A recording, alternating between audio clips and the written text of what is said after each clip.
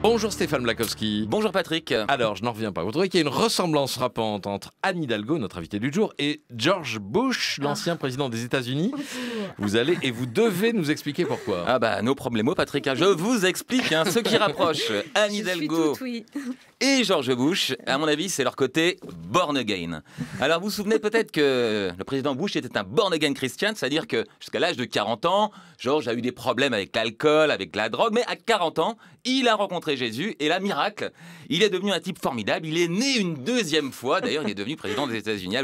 Anne Hidalgo, c'est presque pareil. Oui, presque quand même, parce que je vois pas où, où est le rapport. Ah là. bah, vous aussi, vous êtes une born again, puisque vous venez de l'affirmer tout à l'heure. Vous avez dit qu'en arrivant à Paris, en 1984, Ouais, c'est comme si vous étiez né une deuxième Eh oui, fois. c'est vrai, vous vrai. êtes une born again.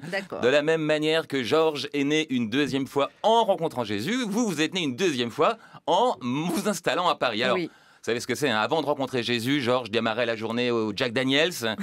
Après, il regardait le baseball à la télé en fumant des joints. Et le soir, parfois, il se payait une petite bimbo pour sortir. Ou un bretzel. Oui, ou un bretzel. Alors oui, je sais que dans ce studio, beaucoup se disent que c'est la belle vie, la hein, comparaison évidemment. avec moi, là, je vois pas.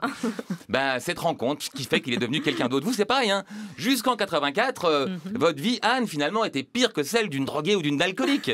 Vous étiez Je une... n'avais pas Paris. Vous étiez une provinciale.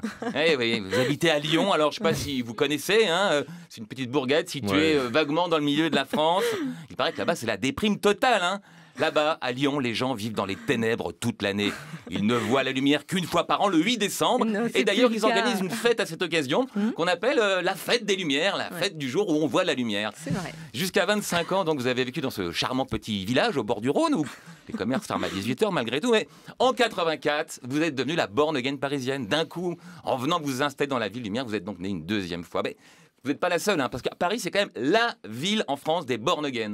Depuis toutes les provinces de France, les jeunes ambitieux remontent vers la capitale, tels des spermatozoïdes attirés par l'immense ovule qui fécondera leur talent. Hein, vous avez remarqué ça?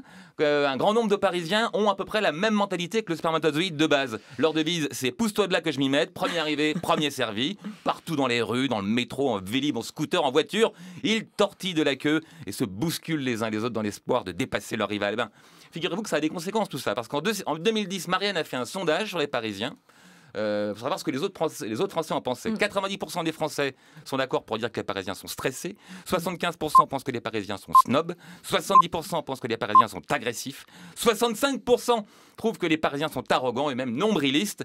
Alors, vous savez que récemment, on a entendu à Marseille que Parisien, c'était une insulte. Le problème, c'est qu'il y a beaucoup de villes de France où se faire te traiter de Parisien n'est pas franchement un compliment. Alors, je sais pas, mais quand on se présente au municipal, je me demande si c'est pas un grand chantier pour le nouveau maire de Paris. Essayer de réconcilier un petit peu Paris avec le reste de la France. Je sais que vous êtes une born again. Je sais que vous êtes devenu quelqu'un d'autre, que vous avez laissé derrière vous votre vieille vie en province. Malgré tout, ne tournez On pas le dos à la France. Réconcilier Paris avec le reste Oui, du pays. non, non, mais c'est bien. Mais j'aime les Parisiens. Voilà, j'aime bien leurs caractéristiques, hein, un petit peu de ce que Snob, vous avez arrogant. dit. Non, non, pas snob, ça je dirais pas. Et puis ils sont solidaires, non. Ils sont très aussi. bien. Ils sont, très- ils sont exigeants, Merci, fin de cette parenthèse parisienne. Nous rendons euh, France Inter à l'ensemble du pays à présent. Merci, Merci. à Dinalgo, merci, à vous à Stéphane vous. Blakowski.